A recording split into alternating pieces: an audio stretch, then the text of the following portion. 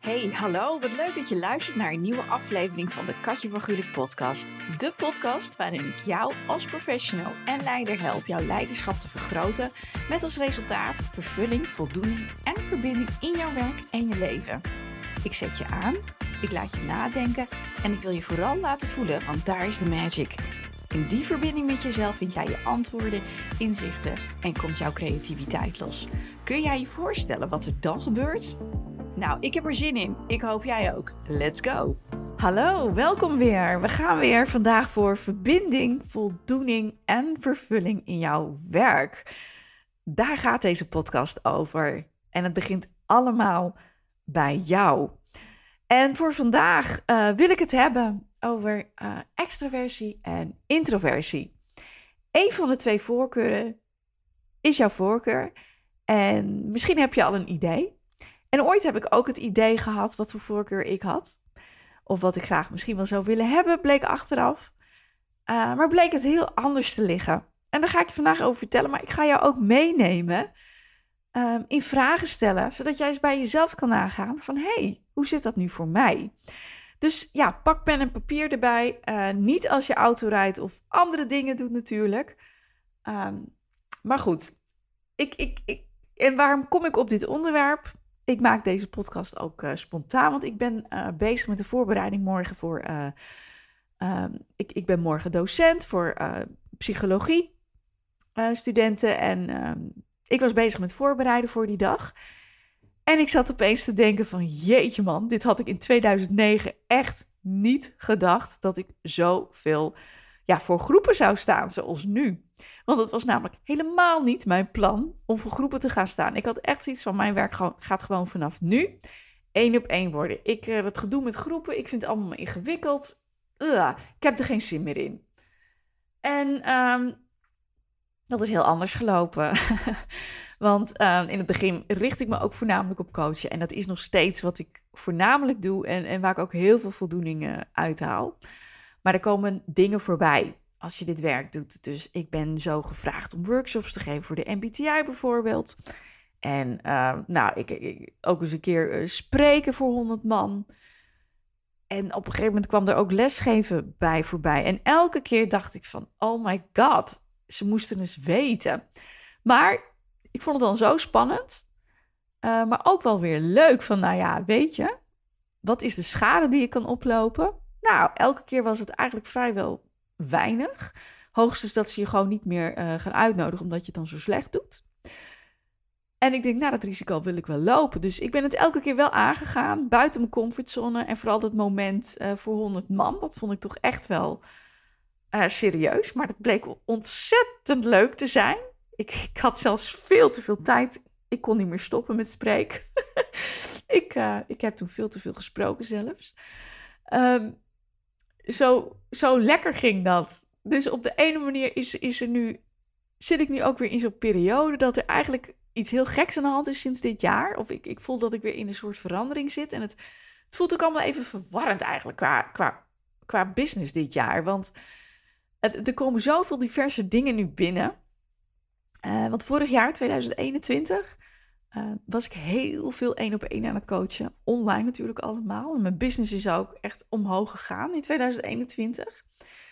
Fantastisch, ook heel vermoeiend geweest. Maar op een gegeven moment na de zomer kwamen er heel veel aanvragen binnen. Echt een hele bubs in één keer in augustus en september van de teambuilding sessies voor MBTI, de Myers-Briggs Type Indicator. Dat is een psychologisch instrument, daar ben ik in gespecialiseerd. En ik mag ook af en toe eens uh, voor ze werken. Ik sta zelfs ook in de instructiefilmpjes hoe je een eh, MBTI-gesprek doet. Dus je bent bij mij aan het goede adres uh, als je een MBTI-gesprek wil. Grapje. Maakt niet uit, maar het is wel grappig. En um, ja, dat was heel leuk. Bedrijven hadden weer zin in 2021 na de zomer om verbinding aan te gaan. We gingen weer naar kantoor. Nieuwe mensen, hè, als een nieuwe start. Ontzettend leuk ik denk van, nou, ik moet hier toch wel wat mee doen. Het is nu zoveel in één keer. Ik eh, heb me toen ook opgegeven voor een teamcoaching uh, opleiding. Die is net klaar in maart uit mijn hoofd. En um, ja, dat, daar ben ik ook ontzettend blij om. Dus er is een soort gekke beweging gaande in business. dat ik nu veel meer voor groepen sta. Vorige week heb ik zelfs van de zes dagen die ik heb gewerkt, heb ik vier dagen voor groepen gestaan. Hè, live, uh, maar ook virtueel uh, doe ik dat. Dus dat was een, een, een, week die anders was dan anders. Omdat ik voornamelijk nog steeds uh, één op één doe. Maar volgens mij is het nu zelfs dat ik 60% één op één doe en 40% voor groepen. Dus daar is iets, er is wel iets gaande, maar wel ontzettend leuk in ieder geval. Maar goed, daar gaat het niet over. Het, het gaat erover dat ik vandaag met jou uh, de voorkeuren extroversie en introversie met je wil uh, bespreken. En jou wil helpen te achterhalen van hoe dat nu eigenlijk bij jou zit. Want het is bij mij heel anders uitgepakt dan ik had gedacht. En dat heeft te maken met het feit dat ik dus, ja, ik had besloten in 2010, ik weet niet wanneer ik de training heb gevolgd van de MBTI. Ik, op een gegeven moment merkte ik bij bedrijven dat er enorm veel behoefte was, vraag was naar de Myers-Briggs Type Indicator als persoonlijkheidsinstrument. En het leek me fantastisch om dat in mijn portfolio voor klanten te hebben. Uh, als basis van de coaching, om, om eens echt eens goed bij jezelf stil te staan. Wie ben ik nu? Uh, en dat kan je dan, uh, dat is gewoon de basis om te bepalen van waar je uiteindelijk naartoe wilt, wat het beste mogelijk bij je past. Dus ik had me daarvoor opgegeven voor de Myers-Briggs Type Indicator. En dan ga je eerst zelf jezelf helemaal onderzoeken. Nou, en het bleek dus dat de voorkeuren extraversie en introversie, dat ik die echt allebei in gelijk, gelijke mate had. Dus daar stond ik al van te kijken. Want ik wist eigenlijk, dit was vooral het voorkeurspaar waar, wat ik gewoon echt niet wist. En ja, dan ga je eerst met vragen, ga je zelf heel erg onderzoeken. En er kwam wel uit de uh, test dat ik net over het randje meer een voorkeur had uh, voor extroversion dan voor introversion. En toen uit de gesprekken in de training, de vragen, je zelfonderzoek, wat je zelf doet, kwam ik toch echt tot de conclusie: ik heb meer introversie dan extraversie. Vond ik niet leuk. En dat was eigenlijk heel gek, want wat is er nou mis met introversie? Nou, onze maatschappij is ingericht op een extraverte voorkeur. Mensen die veel praten, die hebben meer voordelen, die zijn geliefder, hebben meer invloed, krijgen meer voor elkaar. En misschien herken je deze gedachte bij jezelf ook wel. Maar soms is er gewoon iets um, dat je toch meer introversie en extraversie bent. Dus er zat bij mij heel veel oordeel op. En dat komt, bij mij kwam dat echt omdat ik dacht, introverte mensen zijn niet sociaal, die zijn heel verlegen. Dat is niet oké. Dat is dus niet waar. Het heeft niks te maken met hoe verlegen of hoe sociaal je bent. Dus knoop deze in je oren. Een voorkeur voor een extraverte voorkeur of een voorkeur voor een introverte voorkeur heeft niks te maken met hoe verlegen of hoe sociaal je bent. Extroverte en introverte mensen zijn allebei hartstikke sociaal, kunnen ze zijn. En um, daar heeft het dus niks mee uh, te maken. En ik voelde, ik voel, het voelde voor mij dus echt nat dan om introvert te zijn. Ik geloof dat er zelfs maar twee, dat er een derde van de mensen introvert is. En uh, nou, dat is hartstikke zonde dat we daar niet meer naar kijken. Nou, gelukkig is er de afgelopen jaren, ik ben daar nu veel meer op gefocust, door mijn werk natuurlijk, is er heel veel aandacht voor uh, de introverte voorkeur en wat de krachten uh, daarvan zijn. En ja, het is gewoon lastig als je een voorkeur hebt voor introverte voorkeur. Dan heb je misschien al van jongs af aan de boodschap gekregen dat er iets met je is. Hè, dus de, misschien heb je wel ouders die zich verontschuldigen omdat je verlegen bent en dat je even de kat uit de boom kijkt. Of dat ze je op school aanspoorden om uit je schuld te kruipen. Hè? En, en introverte mensen worden zelfs wel eens uh, arrogant, lui, dom, saai genoemd. En dat leidt dan weer tot schuldgevoelens, zelfs als je volwassen bent. Als je bijvoorbeeld een avondje uit afslaat, omdat je liever thuis zit met een boek op de bank of dat je graag gewoon alleen bent. Hè, want dan krijg je juist weer energie van na een week hard werken, dat je even alleen bent en uh, bij kan komen. Nou ja, en dat leidt ertoe dat de meeste introverte mensen zich extraverte eigenschappen vaardig maken om ja, je introversie uh, te kunnen camoufleren. Zonde, zonde, zonde. En vaak gebeurt het natuurlijk onbewust, omdat je van jongs af aan als strategieën hebt ingezet om je als extravert neer te zetten. Nou, je kan wel nagaan hoeveel energie dat kost om gedrag te doen wat eigenlijk helemaal niet bij je hoort. Zonde. Nou, en als je deze rol dan niet speelt, hè, terwijl je introvert bent, uh, of, of uh, hè, en, en, en je, um, je, je bent maar bezig om je extravert voor te doen, ja, dat is zonde, dat kost je heel veel energie. Maar goed, uh, velen van ons die denken dan ook dat ze meer extravert dan introvert zijn. Dat had ik dus ook. Terwijl je pas na goed zelfonderzoeken soms achterkomt dat je toch een voorkeur voor introversie hebt. En vooral mensen die ouder worden, merk ik altijd in de gesprekken en in de sessies, die denken vaak dat ze meer introvert uh, dan extrovert zijn. Maar het gaat even om hoe jij als kind was in dit geval. Um, het gaat erom hoeveel waar jij energie van krijgt. Denk aan een extrovert die energie krijgt na een week hard werken. Uh, door met andere mensen een borrel te gaan drinken. Of denk eens aan de introvert die juist energie dan krijgt van een goede film te kijken. Samen met iemand op de bank of een één op één etentje te doen, maar niet met te veel mensen. En uh, met de MBTI kunnen we dus het zelfonderzoek uh, gaan doen. Nou, als je dat doet, als jij, dan kun je ook beter inspelen op jouw energiehuishouding als je dit weet, zonder ene schuldgevoel. Want je weet precies wat je wel of niet nodig hebt om je eigen balans weer te vinden. Dus ik, ik, ik ga wat, uh, wat dingen nu aan jou geven. Misschien wil je meeschrijven, misschien ook niet.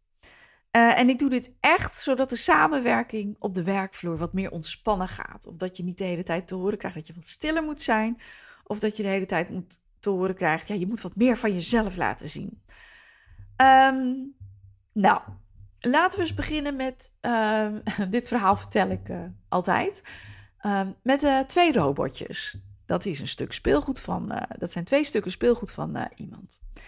En het ene robotje, die speelt heel graag buiten in de zon, daar laat hij op.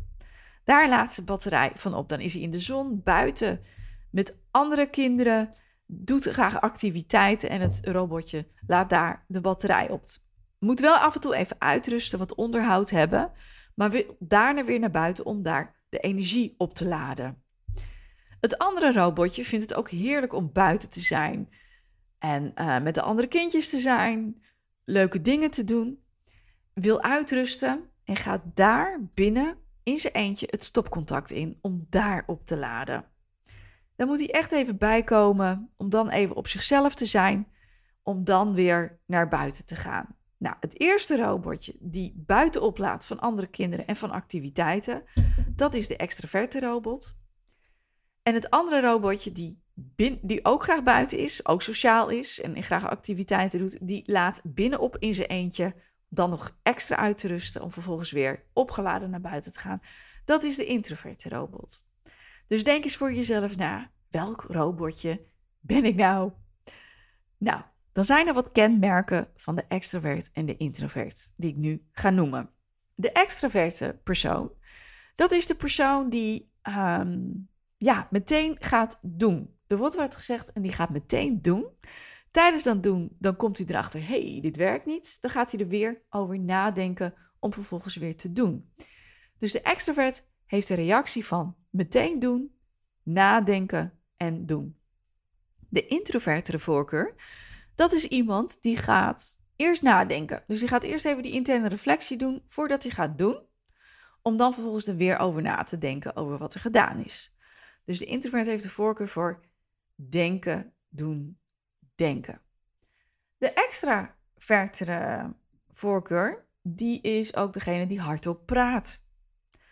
Die praat om na te denken. Dus die praat veel. En die vindt het dan ook fijn dat anderen daarop reageren, want dan kan hij weer hardop nadenken. Terwijl de introvertere voorkeur, die denkt in zichzelf na. Dus die haalt de energie van binnen zich. Um, die doet de interne reflectie. Dus die is wat stiller. De extravertere voorkeur, die heeft ook brede interesses. De introvertere voorkeur die heeft één of twee interesses en daar weet hij ook heel veel van. Dus de extrovertere voorkeur die heeft om de zoveel maanden een nieuwe hobby. De introvertere voorkeur die kan ja, duidelijk uh, één hobby doen en dan ook heel lang. Maar daar weet hij dan ook alles van. Um, de extrovert is ook de flap uit. Die denkt vaak achteraf, had ik dat maar niet gezegd? Denk aan een sollicitatiegesprek.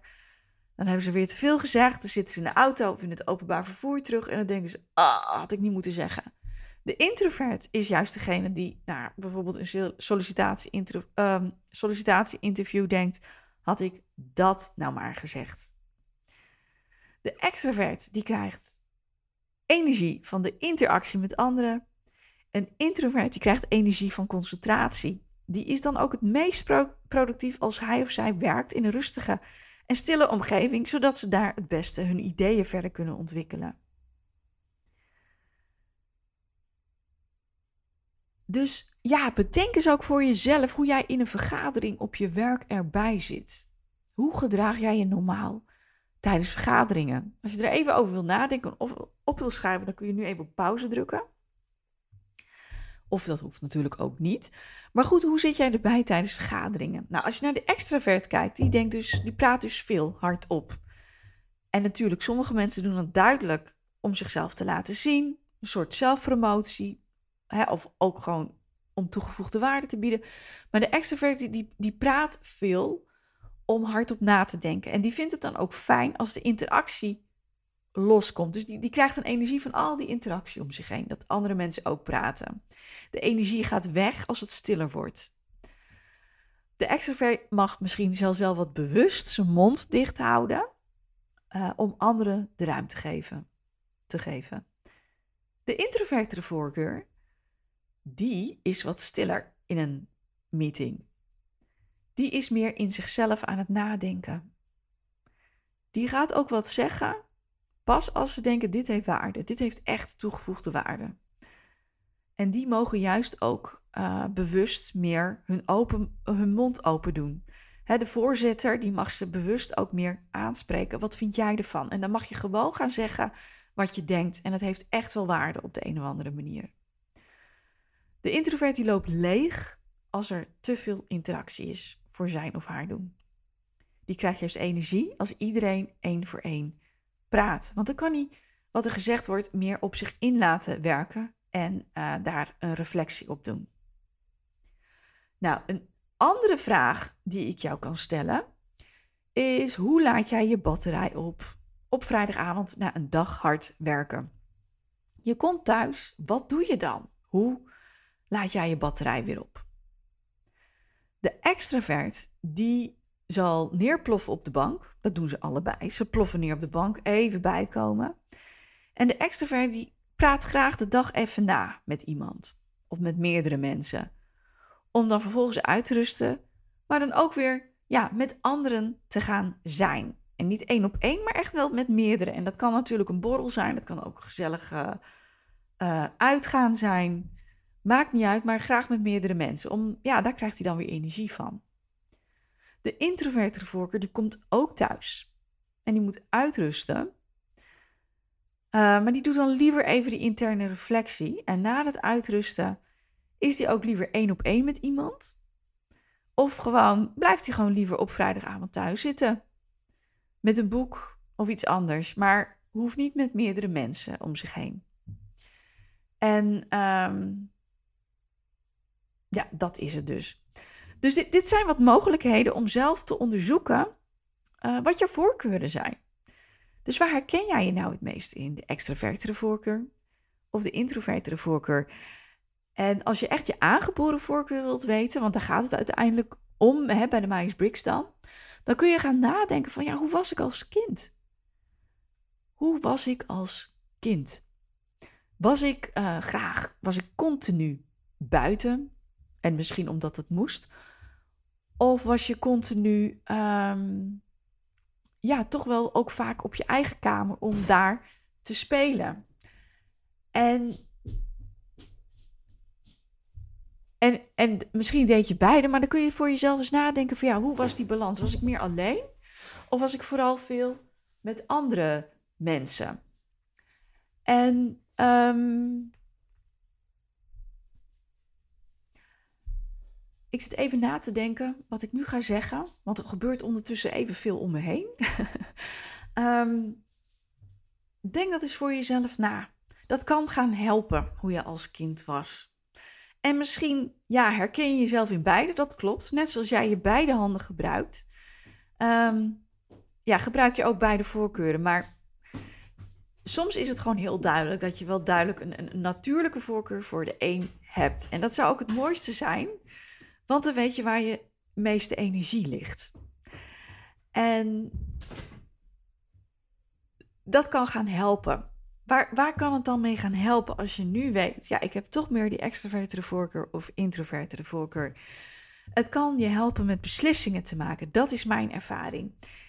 Ik dacht zelf namelijk altijd dat ik uh, meer extrovert was dan introvert. Maar ik blijk toch ook best wel.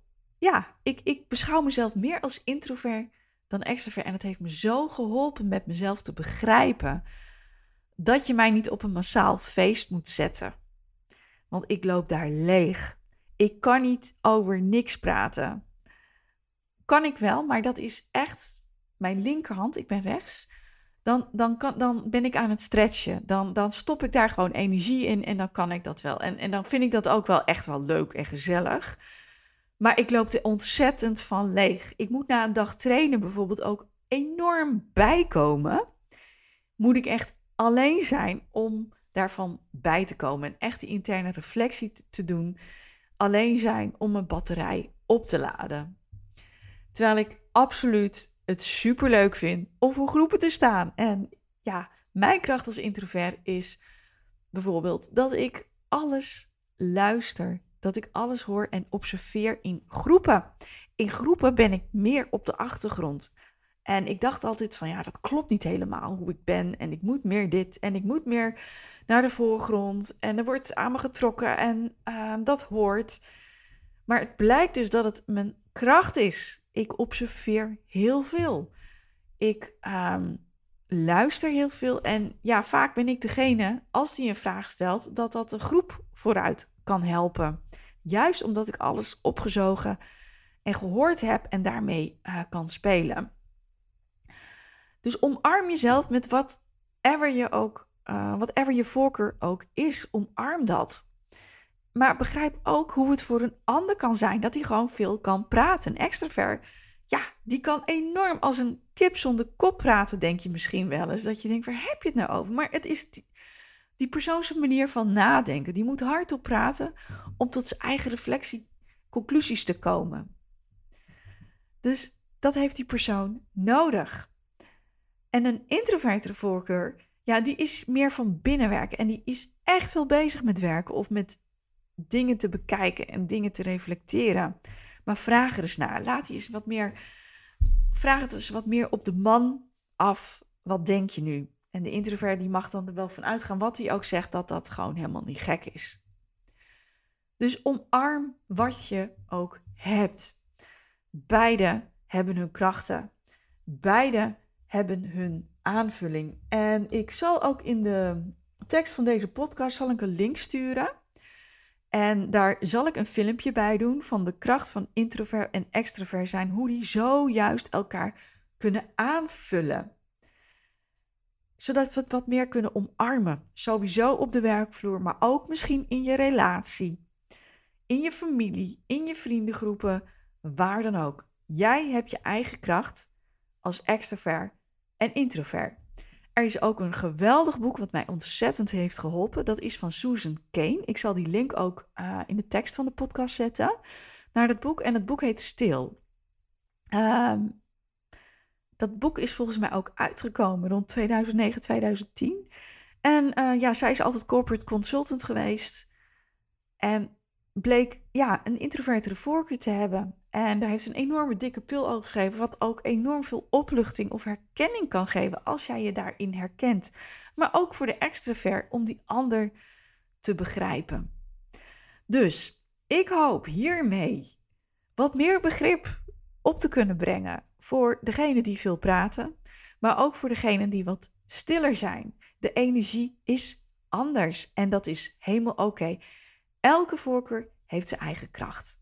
Nou, kan ik bijvoorbeeld ehm, even kijken of ik je nog wat meer informatie kan geven of me nog wat te binnen schiet. Maar nee. Ik, zou, ik wens jou gewoon dat jij je omarmt zoals je bent. Geloof me, het geeft zoveel. Ja, het, geeft, het gaf mij echt opluchting van hé, hey, het is helemaal oké. En ik hoef niet altijd meer ja te zeggen. Het heeft mij enorm geholpen om mijn kracht te zien die ik heb. En ja, toch meer die introvert te zijn. Alhoewel ik ook ja, echt me in de midzone kan voelen van... jeetje, nu heb ik weer heel veel behoefte om die extraverte voorkeur in te zetten. Dus helemaal in een hokje plaatsen kun je iemand ook niet. Het helpt je bij de ander te herkennen en bij jezelf te herkennen, zodat je meer in verbinding met jezelf bent. Maar ook meer in verbinding met de ander en met jouw team. Of in, dit andere, in die andere groep waar je bent. En als iedereen dit zou doen, dan zou dat zoveel meer veiligheid geven. Zodat iedereen, ja, zijn beste ik kan laten zien. En ja, zijn beste dingen kunnen geven in de groep of naar mensen toe. En dat is wat ik wens voor iedereen dat dat mogelijk is. Dus omarm jezelf, maak die verbinding met jezelf naar de ander en dan heb je vervulling en voldoening in je werk en je leven. Ik wens je fijne dag, avond of wat dan ook toe. Doei doei! Dankjewel voor het luisteren. Ik wens jou een prachtige dag, middag of avond toe. En vond je het interessant? En vind je het de moeite waard om dit verhaal te delen? Dat zou geweldig zijn. Want hoe meer mensen ik kan helpen, hoe beter. En sowieso vind ik het leuk ook om contact met jou te hebben. Dus heb jij een vraag? Of weet jij een onderwerp voor een podcast? Laat het me weten, want dan kan ik jou nog beter helpen.